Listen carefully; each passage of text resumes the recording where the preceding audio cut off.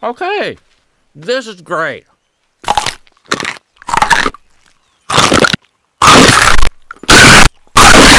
Granted, it takes some time to chew, but that that was very satisfying. And by the way, lots of fiber in there too. Mmm. I gotta admit, that does look tasty.